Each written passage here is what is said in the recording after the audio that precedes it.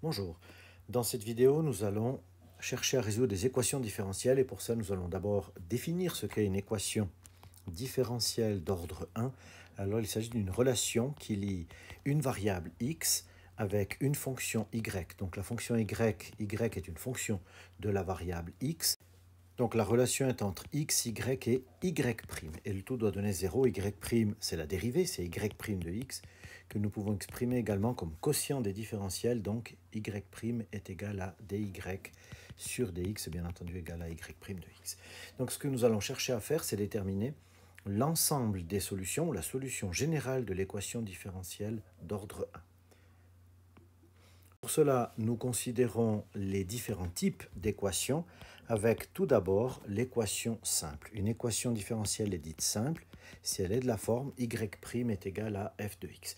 Alors, pour la résolution, nous remplaçons y' par son quotient des différentiels, dy sur dx est égal à f de x, ce qui nous donne dy est égal à f de x dx, et donc nous pouvons intégrer de chaque côté pour obtenir y est égal à grand f de x plus constante et nous obtenons la famille euh, des primitives qui nous donne la solution générale de l'équation simple donnée ci-dessus. Ensuite, nous avons un deuxième type d'équation différentielle de premier ordre, à savoir les équations à variables séparées. Une équation à variables séparables est une équation qu'on va pouvoir transformer de manière à parvenir à une forme g de y fois y' est égal à f de x, autrement dit pour laquelle on pourra séparer les variables et donc pouvoir placer dans le membre de gauche tout ce qui concerne y et aussi y' et dans le membre de droite ce qui concerne directement x. Et pour la résolution, on va procéder un petit peu de la même manière qu'avec une équation simple. On a g de y dy sur dx est égal à f de x. Donc on passe dx dans le membre de droite en multipliant et donc on intègre de chaque côté, ce qui nous donne ici une primitive g de y qui est égal à grand F de x plus c, qui est ce qu'on appelle la solution implicite, puisqu'ensuite il s'agit d'isoler y, donc y est égal à la réciproque g-1 de f de x plus c. Et là, nous allons obtenir avec ce calcul ce qu'on appelle la solution explicite de l'équation différentielle.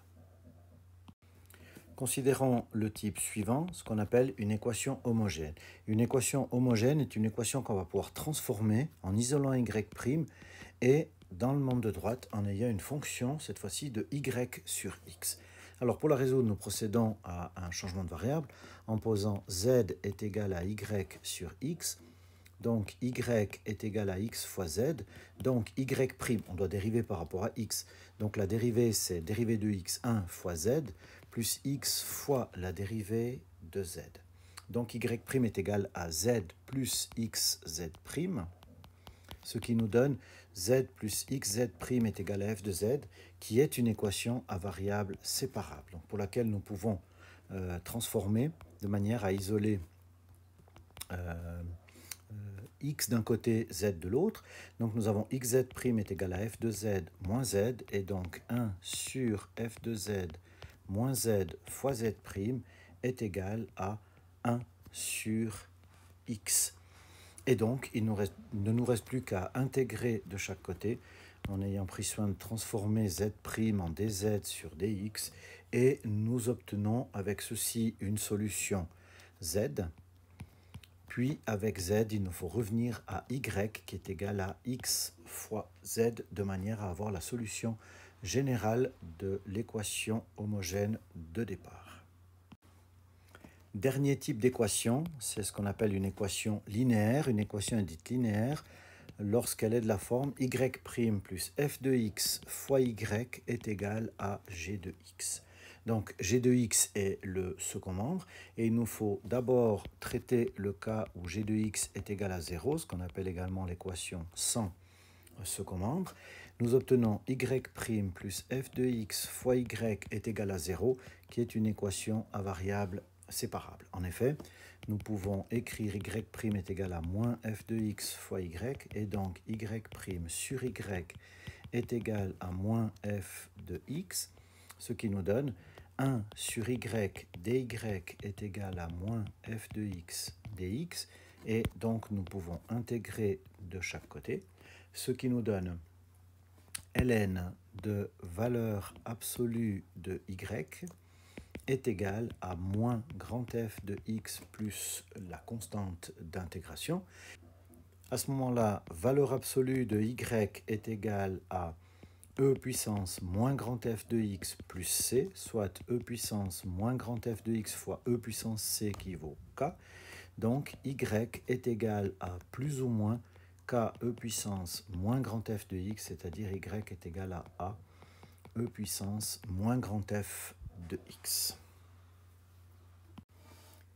qui est la solution générale de l'équation sans second membre.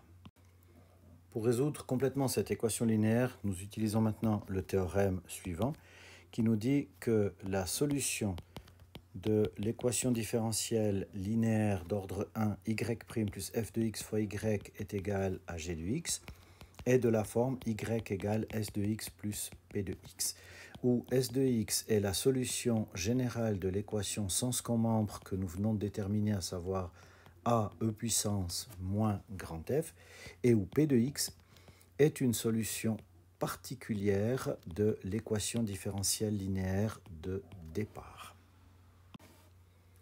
Alors, pour démontrer ce théorème, à savoir pour démontrer que y donné ici est la solution générale, nous devons démontrer le théorème en deux parties.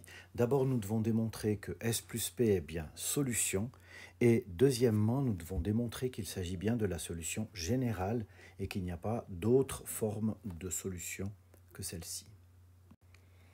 Tout d'abord, pour montrer que S plus P est solution, nous avons S qui est solution générale de l'équation sans second membre.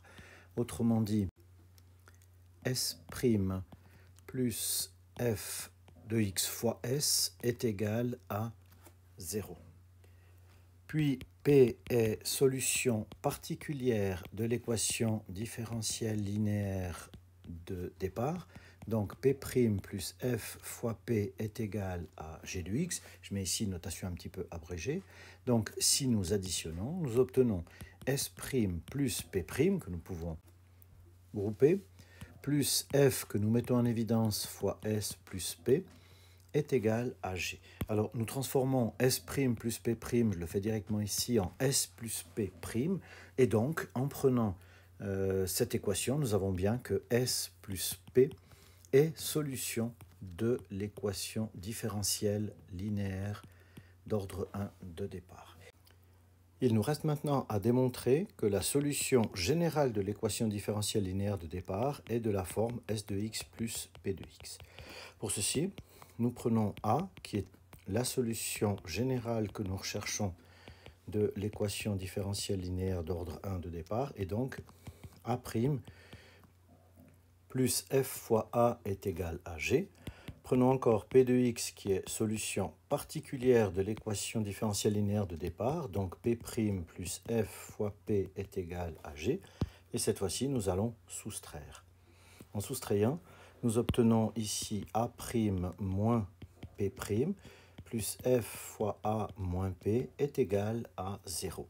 Autrement dit, nous avons ici A moins P' plus f fois A moins P qui est égal à 0. Donc A moins P est solution de l'équation sans second membre. Donc, comme nous connaissons la solution S de l'équation sans second membre, nous avons a moins p qui est égal à s. Et donc, a est égal à p plus s ou s plus p. Et nous avons donc bien prouvé que a de x est égal à s de x, solution générale de l'équation sans membre, plus p de x, solution particulière de l'équation différentielle linéaire de départ. Ainsi, pour résoudre une équation différentielle linéaire d'ordre 1 y' plus f de x fois y est égal à g de x, nous commençons par résoudre l'équation sans second membre et nous trouvons s de x est égal à a e puissance moins f comme vu tout à l'heure. Puis nous cherchons une solution particulière. Alors la solution particulière, on peut la trouver soit par feeling, disons observation de l'équation de départ, soit par la méthode de variation de la constante de Lagrange. En quel cas, nous posons p de x égale c de x fois e puissance moins grand f. ce moment-là, nous avons cp' de x qui est égal à c' de x e puissance moins grand f plus c de x fois e puissance moins grand f euh, fois la dérivée interne, c'est-à-dire moins la dérivée de grand f qui est petit f, puisque grand f était une primitive de la fonction petit f. Et donc, comme nous avons p' plus f de x fois p qui est égal à g de x, nous obtenons c' e puissance moins grand f plus c de x e puissance moins grand f fois moins f de x, tout ça pour p', plus f de x fois p, c'est-à-dire f de x fois c de x fois e puissance moins grand f, et tout ça doit nous donner g de x. Alors nous pouvons simplifier, puisque ces deux termes vont disparaître, ils sont opposés l'un de l'autre. Il nous reste à ce moment-là c' de x est égal à g de x fois e puissance grand f. Donc il nous faut trouver une fonction c qui soit la primitive de g de x e puissance grand f de x dx. Ayant obtenu c de x, nous pouvons conclure avec p de x est égal à c de x e puissance moins grand f et en déduire, troisième partie, la solution générale de l'équation différentielle linéaire de départ sous la forme y égale s de x plus p de x. C'est terminé pour cette question sur les équations différentielles linéaires d'ordre 1. À bientôt